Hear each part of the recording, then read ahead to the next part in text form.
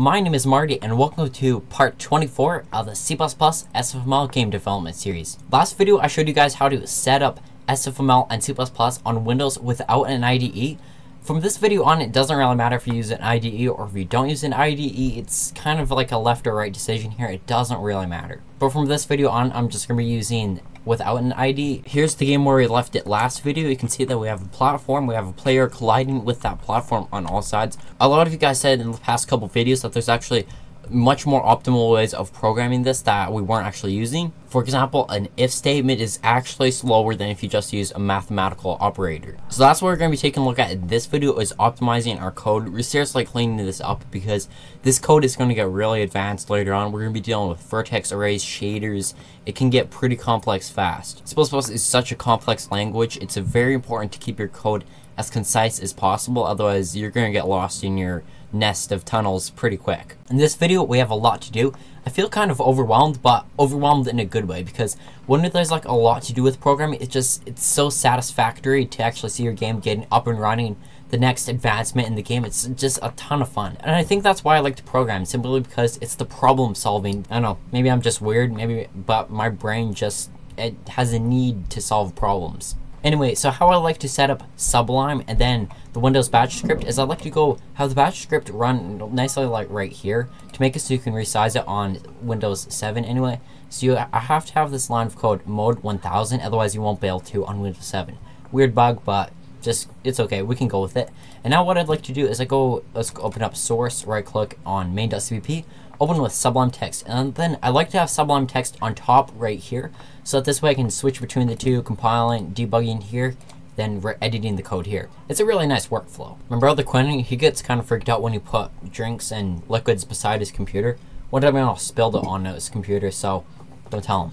I mean, it is technically on my desk. My bowl of soup is, it's on my desk, so it's fair game let's start by making this code more readable. And I've said before, I don't like to use the unary scope resolution operator too much, which is like you go SF and then you, if you use a vector 2F. Using a namespace is not always a good idea because there's actually an STD vector as well. That's right, two different kinds of vectors here. An STD vector has nothing to do with a vector. A vector has two points, or actually three points, possibly if you're dealing with 3D environments, X, Y, Z. If you're dealing with 2D environments, just X and Y. An STD vector is a dynamic array. It's an array that is unallocated memory so that it doesn't know how big the array is going to be. It's just to, it's to figure that out as you go along. It's kind of unfortunate that it's actually named a vector because it has nothing to do with a vector whatsoever. This is why using this unary scope resolution operator is important. So what we can do actually is if you just take out this using namespace SF, control save, and let's just compile it right here in a Windows batch script.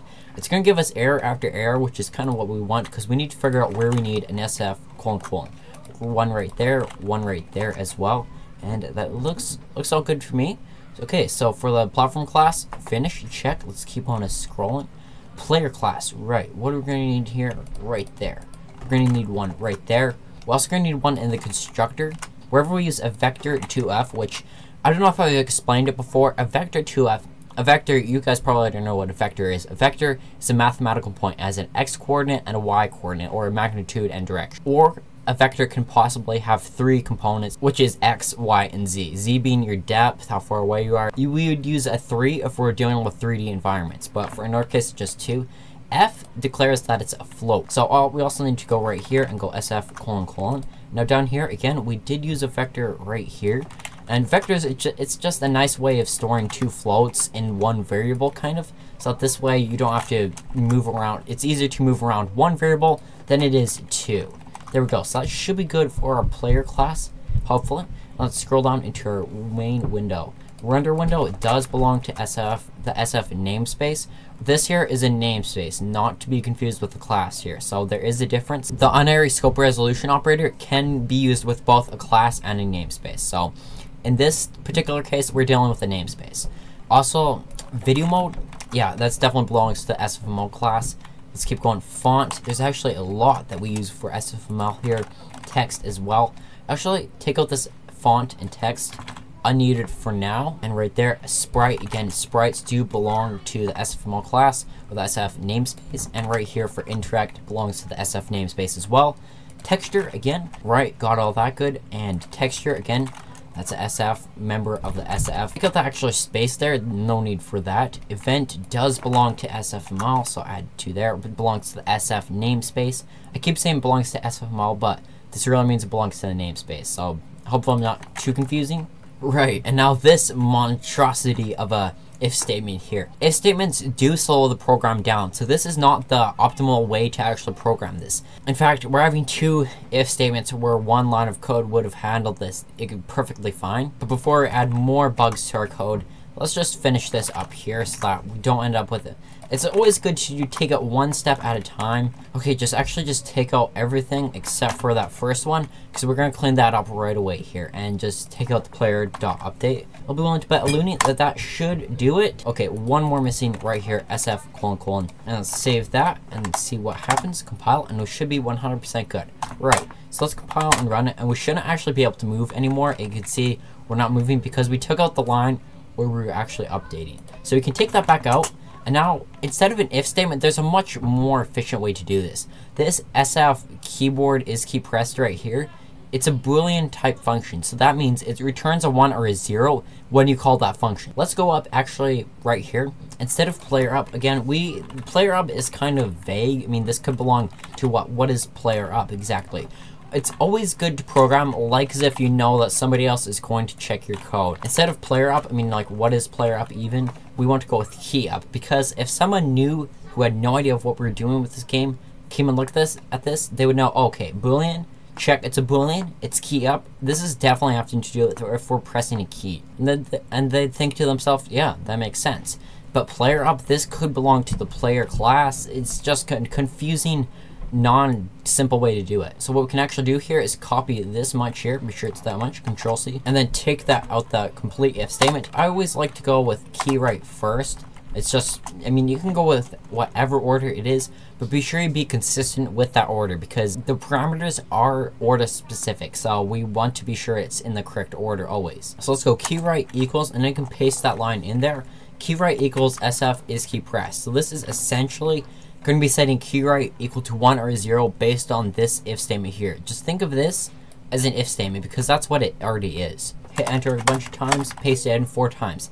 Now not only have we saved ourselves four lines of code here, we've also made this 10 four times more efficient. Instead of key right, let's go with key left here. And again, make sure it's left here. Like I was saying, it's important to keep that order consistent. So I'm going to change up the order of these variables because functions are order specific in the parameters. They have to be in the exact order you tell them. Stick with the system so that you can do it from memory. So you don't have to scroll up, waste five seconds of your life.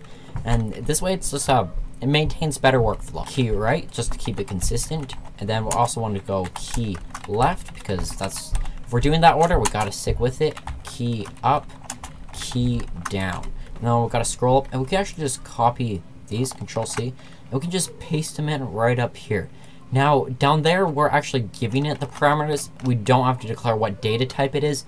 It already knows. The compiler already knows key right is already a boolean because we said it was right here. Now, in the function definition, however, you do have to say what type of data it is. And these are booleans. Now, you actually could, there's actually no need to use the booleans. You could actually use an integer and just use one or a zero. Data types, they don't actually mean anything in C++. Boolean integer because it all comes down to memory at the end of the day. Booleans is just syntax so to make the programmer's life easier. Right, so our compiler is now saying, what is this player right? Because we just took out player right.